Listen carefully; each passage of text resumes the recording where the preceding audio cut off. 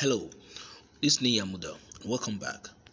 Now, for those of you that are having issue with um, PixelLab and boys issue like this, I'll show you now. So you're having this issue with emboss. Okay, let me show you something. Now look at the text. Look at this text.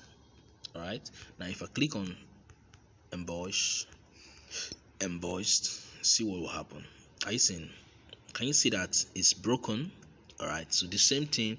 If I go to 3D text, I click on it. You see, you see that it's not properly done. It's broken. All right. So this this is this is an issue, and there's actually a way to solve it. If you want to solve it, um, temporarily, which is, is still going to give you some issue later, you can click on size and then you reduce it and try to tweak it. If you there's a way you reduce it or increase it, you can see that it's it's it's it's finally work now. Okay, so you can reduce or increase to get it to work for you, just like this. So let's let me show you again. If you go over to um, Emboss you can see that it's working perfectly but the moment i reduce the size or increase it more if i reduce it just watch it's going to go back to that messy thing okay? So now but now we want to solve the problem permanently by showing you another app that works exactly like pixel lab. The name of the app is test tune Textoon so this Textoon this is the interface of Textoon just like pixel lab all right so this is Textoon Textoon works exactly the way pixel lab work. Everything every feature you have of pixel app you have it on Textoon except the color features. Let me show you what i mean. This is the color filter if you have an image like this for instance this um is not an image is a chip. But let's say i have an image um let me show you this. This is my this is the image. All right this is the image i want to work on now. I've i've clicked on the image now. Now with color filter i was able to reduce the opacity of this image so that it's no longer showing the original color. This is the original color of the image. So with color filter option in pixel lab i can actually work on the image. I can edit the image. I can make it better. Or i can i can work on it you see? So this is what the color filter does in pixel lab. But in um in um what's called? In Textoon there is no there is no color effect. The color effect should be immediately after opacity as you can see here. Click on it. After opacity you can see opacity here okay? After opacity you have color color features but there's no color features in Textoon i'll show you that. Apart from this color feature that is not there every other thing oh, sorry let me just use a very nice image. Oh sorry about that right so i'm going to use this one. Apart from the color filters every other thing and this is it. Now if this was pixel i can change this color of this image and make it black and white. But we can't do that here in test Textoon if we go to color if we enable color it's going to cancel everything at once. If we go to this is opacity. Now in pixel after the opacity you should have seen the next thing that will come after opacity you can see opacity. After opacity before stroke this is stroke this is opacity. Now before after opacity what you see in pixel lab after opacity is color filters. After color filter is stroke. But in Textoon it is opacity color uh, stroke and eraser. So you can see that in between opacity and stroke something is missing okay in between opacity look at it opacity and stroke. Something is missing which is color filters. So apart from these color filters every other thing you have it in every other thing you have in pixel lab you also have them in test Textoon you can have your grid you see your save you have your quotes you have the same option.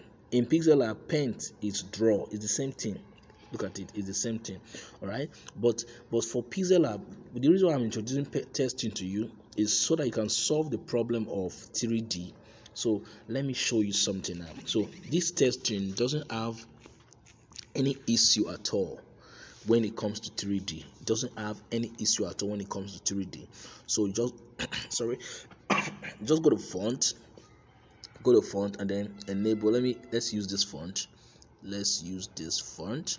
All right so this is it. So i want to show you how the 3d works that there's no issue at all. So but for some of us that use um, android 10 version device we are having this issue of emboss and um, 3d broken. But when you come to test you don't have that issue at all. It's working perfectly well okay? The 3d works perfectly so you don't have any issue with it at all. You can see it's working very fine. So that's why i like Textoon. So you, the way you design with your pixel lab you can actually do the same design with your Textoon. So many people hype Textoon that is better than pixel lab. No because there's no color filter. You can see i just showed you there's no color filter. After the opacity color filter is missing apart from that every other thing works very well. So if at all you're having issue with your pixel lab emboss and um, 3d effect just like you can see, you can see the way it's broken now all right this is the this is how messy it is in, in pixel lab when you're doing emboss you can see your test is broken. So what you do is that you come to your um come to Textoon come to Textoon and then install the app set it up get the same text you want to use. So you can install your text just as you do with pixel lab. You can come over to text go to font go to font then click on my font and add. You can add it just the way you do with pixel you can add I have a video on that on my YouTube channel, Niyi Amuda TV, how to add font to Pixel. You can do the same thing here. You can add your font, then do your 3D effect here. When you are done with your 3D effect, go to transparent background. All right, go to transparent background, edit it the way you want it, edit it the way you want it, change the color, do whatever you want to do.